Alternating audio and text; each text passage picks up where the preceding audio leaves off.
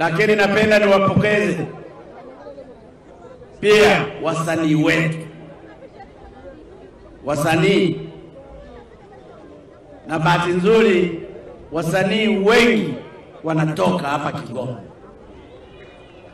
Kigoma ninyi mmefunika,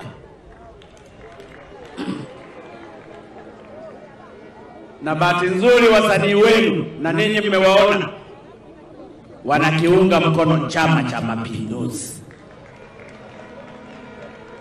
Huu ni mwelekeo mzuri kwamba mwaka huu Chama cha Mapinduzi kitashinda kwa kishindo hapa Kigoma.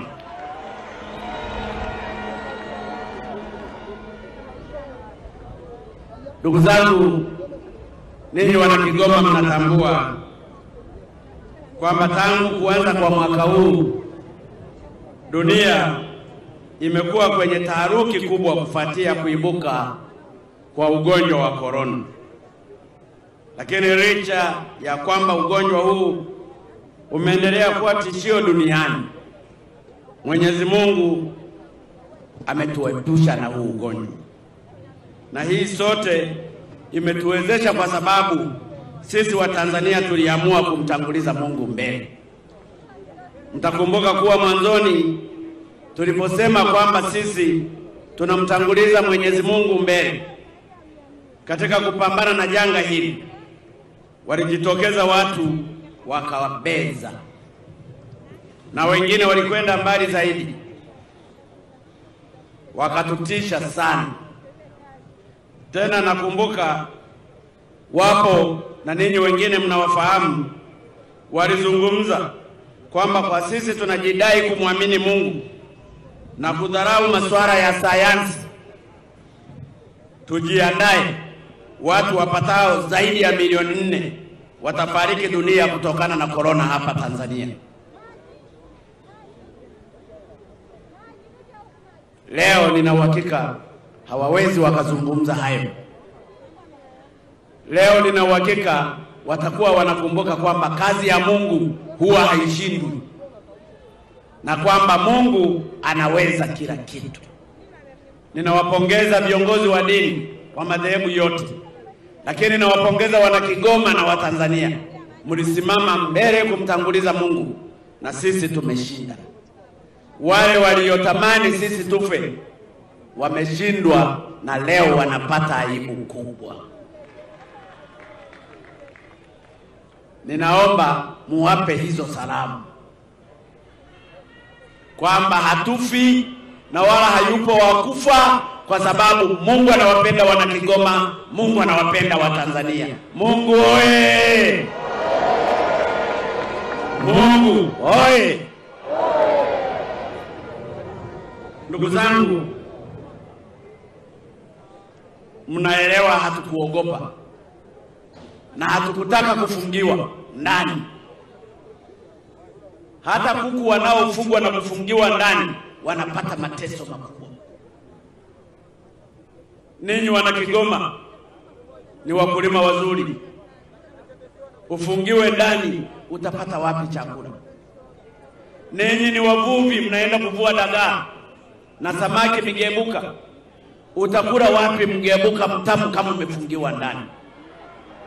Nasema uongo ndugu zangu? Hapa kuna misikiti mingi, mashehe wanatufundisha neno la Mungu, kuna makanisa.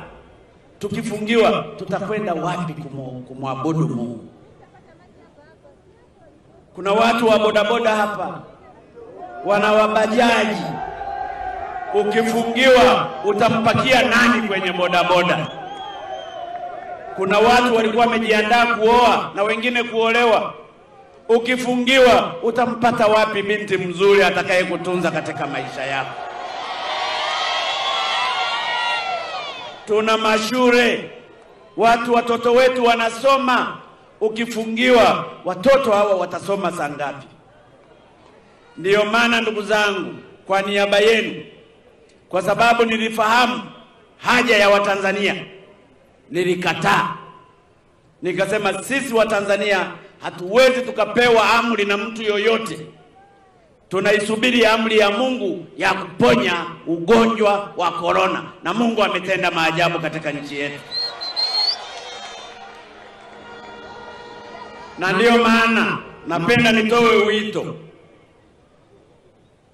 kwa wale wachache na wale watu wa duniani ambao huwa hawamwamini Mungu waje wajifunze Tanzania jinsi Mungu alivyofanya maajabu ya kuitoa korona, na sisi sasa tuna enjoy, tunafanya maisha yetu kama kawaida. Shangilia Mungu kwa nguvu zote. Ndugu zangu, ninayasema haya kwa sababu pangekuwepo spika wa bunge la Tanzania ndugu Jobu Ndugai angewaeleza yaliyojitokeza bungeni. Ugonjwa huu ulitokea wakati wa kipindi cha bunge. Wabunge wetu walikuwa wakijadili bajeti ya mambo ya maendeleo ya Tanzania, yakiwemo maendeleo ya Kigoma, yakiwemo miradi ya barabara ya bilioni mia tano na kitu katika mkoa huu. Ninyi ni mashahidi, ninajua sina wajibu wa kuwakumbusha, lakini mliona wabunge waliotoka mle bungeni hawakutaka kujadili bajeti, hata ile bajeti ya bilioni mia tatu thelathini ambayo ndiyo inatumika kwa ajili ya uchaguzi wa mwaka huu hawakuijadili, waliondoka. Wao walipenda sana maisha yao kuliko maisha ya Watanzania. Kigoma mpo? Kigoma mpo? Mnanielewa? Mnanielewa? Maana yake wabunge waliobaki bungeni ambao kiukweli ni wa CCM, leo tusingekuwa tunazungumza hata uchaguzi wa mwaka huu. Leo tusingekuwa tunazungumzia miradi ya bilioni mia tano sitini na kitu ya barabara katika mkoa huu. Leo tusingekuwa tunazungumzia juu ya elimu bure. Leo tusingekuwa tunazungumzia ile mipango mizuri iliyomo kwenye ilani ya uchaguzi ya kuanza kuitengeneza Kigoma kama senta ya business katika taifa hili. Leo tusingezungumza miradi mingi ya umeme ambayo tunataka tulete gridi ya taifa mpaka Kigoma. Kigoma oye! Kigoma oye!